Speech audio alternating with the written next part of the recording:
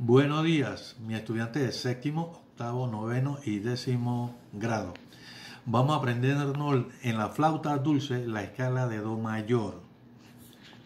Con la mano izquierda se tapa con el dedo pulgar el orificio de atrás, índice, corazón y anular. El meñique de la mano izquierda no toca ningún orificio. La mano derecha, pulgar atrás, índice, corazón, anular y índice. Y comenzamos así. Do, re, mi, fa, sol, la, si, do. Y ahora bajamos.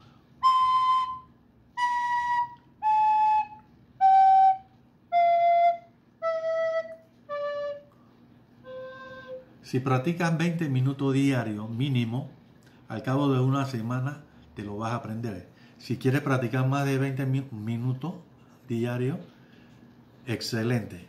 Y al cabo de una semana lo vas a tocar en esta forma.